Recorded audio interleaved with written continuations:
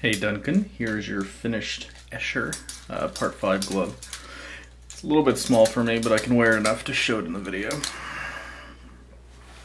This is the leather that these gloves, as well as the sixes, will be using from now on after a few more orders that I had.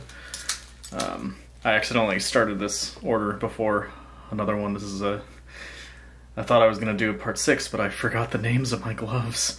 So I started a part 5 on accident, so this is an order much further down on my list, but uh, good for you. You get your glove early. I'm very happy with how it came out. I like these simpler fives and sixes with just kind of like the rough paint and quick detailing. I mean, like the solder spills and stuff are all as accurate as I can get them because uh, I have to intentionally do those regardless, so might as well make them look as close as I can instead of artificially making them worse. But I like the you know, quickly slept on paint, the uh, oxidation, which I've actually found a better way to do, which is nice. You can, you might be able to tell it's very um, gnarly looking.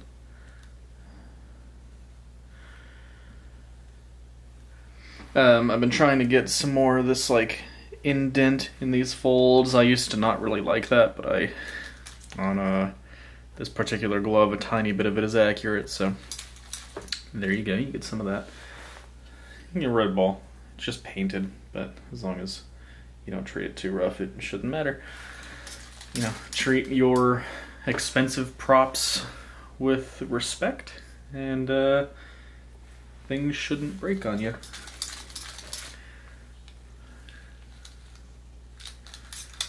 Uh, this is oil paint, so give this a while to dry. I'm going to try to get this shipped out on Monday or Tuesday, hopefully.